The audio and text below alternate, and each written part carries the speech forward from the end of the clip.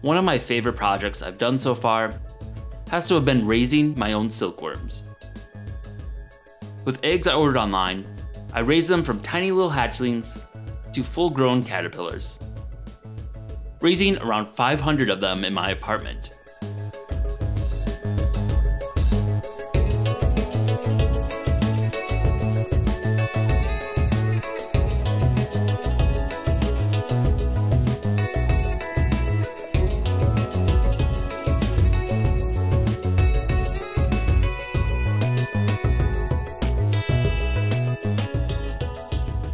I got a little attached to them.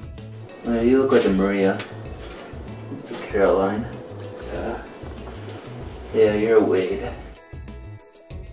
Just everyday checkup on them as they like double in size each day. Pretty massive compared with how they started out.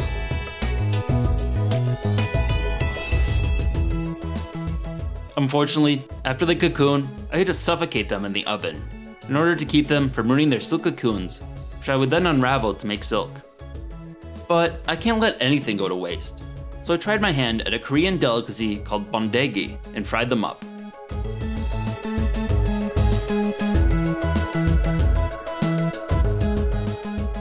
Then I thought I'd be super generous and share them with the knitting group I was learning from. Well, thanks for letting me join you guys' knitting group. I uh, brought a little bit of a snack. Thought you guys might want to try the silk pie that I raised. And it's a Korean delicacy. Yeah. I'm good.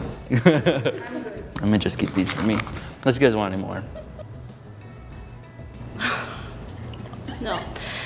That one has a soft the stuff in the middle. I feel like I need to drink like an entire beer now after eating out.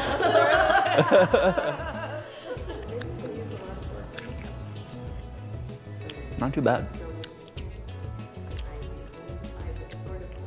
Alex tastes pretty good.